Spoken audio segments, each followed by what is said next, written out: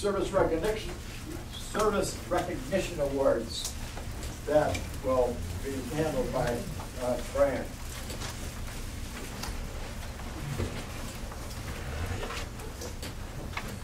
We have, um, many people are not familiar with the township committees, which review grant applications and really make the decisions about the, the allocation of the bulk of township resources.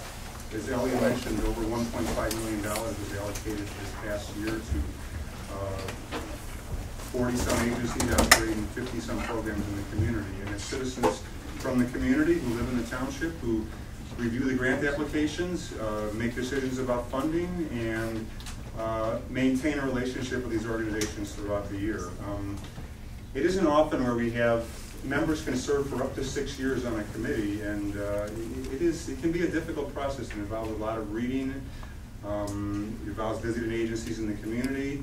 It involves a lot of, quite a bit of time, especially in the fall when we do the funding process. Uh, we have three committee members here tonight who served the full six years on the committees. Um, two of them on the Money Follows the Person Committee, which reviews organizations, which uh, reviews grants for persons with disabilities. Uh, uh, Ann Sickon was our committee chair. Would you come on up, Ann, along with Nancy Perovic, who also served on the committee for a full six years. Uh, Jennifer Hall.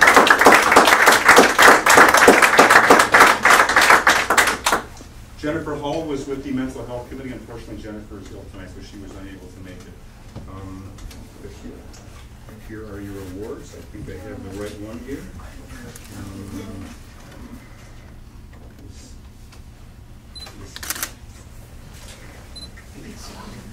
this is- Yep, Ann. Ann, Nancy? Dennis, have you come on up here? We'll take a picture.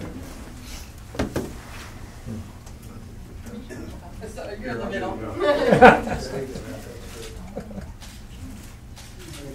Thank you very much.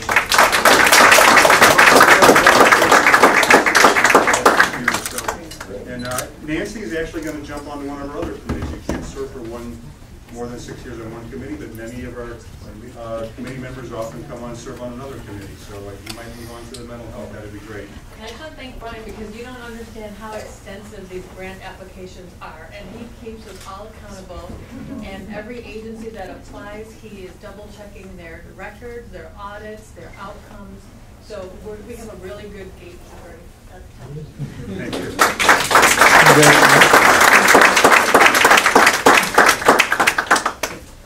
Now for the Friend of the Township Award. Again, Brian will.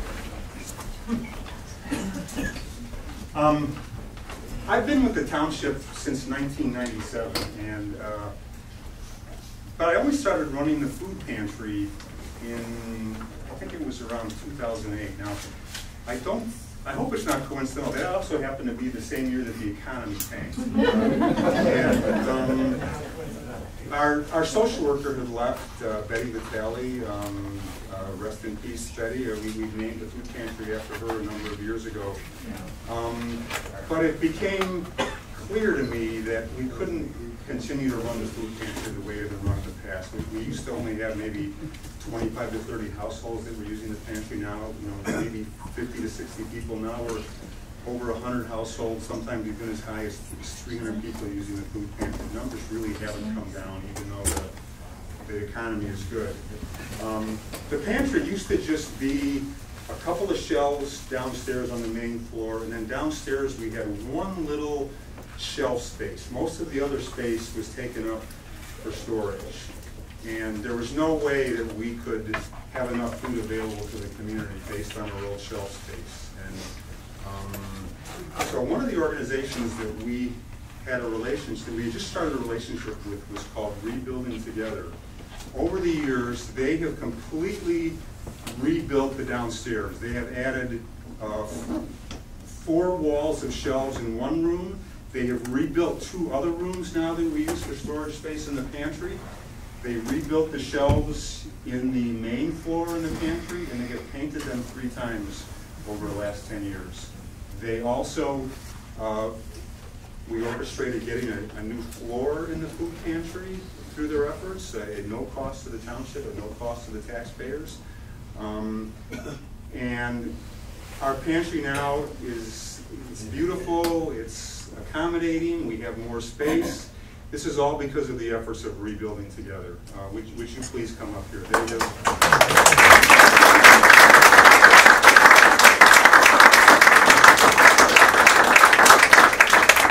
Really, their efforts have completely reformed our food pantry, completely reformed our ability to serve the public, and a lot, given us the space and capacity to be able to meet the needs of the community. So we are extremely grateful. Thank you, Brian. Thank you very much. We really- really. Want to say a Do you mind if I say a couple Sure. of things real quick? Uh, Mr. Robbins had mentioned all of the good work that the, um, I believe it's 37 agencies that you've supported this year and just under 1.5 million. And uh, we're fortunate to be one of the recipients and uh, all the great work that Brian does and Jeannie, and we really appreciate that. I just wanted to share with you a quick story of one of the folks that we've helped in the past year through the support of the township. Um, We had a family in Wilmette, we have an elderly uh, individual who cares for his bedridden wife and adult special needs daughter. And last year, we came in and with a group of students from North Shore Country Day and some carpenters and plumbers and electricians, we were able to re- renovate their bathroom, their kitchen, um, clean up the basement, create some more storage. We like building shelves. But, uh, you know, just taking one little piece of that to give you a sense of what the township does do and how their contributions are magnified. The kitchen piece of it, um, because we, all of the labor was donated, and we just uh, spent money on the cost for the cabinets and the flooring and so on and so forth. That part of the project um, only cost uh, $2,000. And if we were to hire a contractor to do that, my estimate is the cost probably would have been somewhere in the $25,000 range. So just, you know, there's a tenfold increase.